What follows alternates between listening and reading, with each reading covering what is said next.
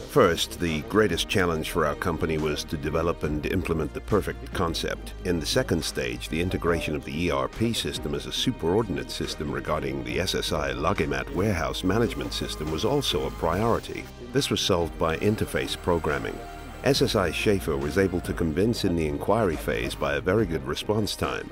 In the course of the project, we saw a very high level of technical and sales competence, and we wanted to build on this.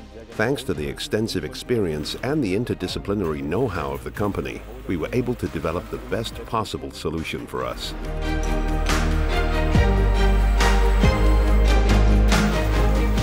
der Logimat stand als Lagersystem. It became evident quite quickly that SSI Logimat would be used as a storage system. We presented different variants for the storage of the defined load carriers. The Logimat gives the customer the possibility to make optimum use of the available space in the warehouse. In addition, we have the possibility to control the ERP system with our warehouse management system, and thus to make the processes in the warehouse transparent.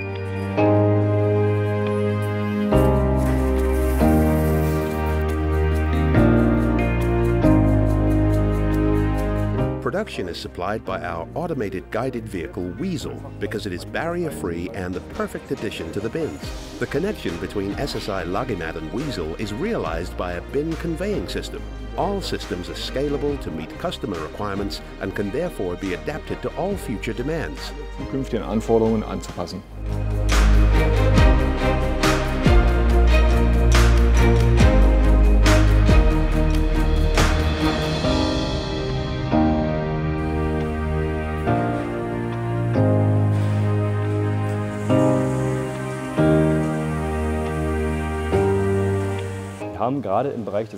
Especially in the area of small parts management, we could reduce the provision time by 90%.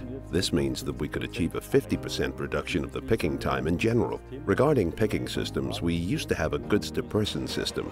This, of course, distracted employees from their core activities. Now we optimized it to a goods-to-person principle, so the employees can focus mainly on their core activities. This helps us to achieve an increase in efficiency as well as in productivity.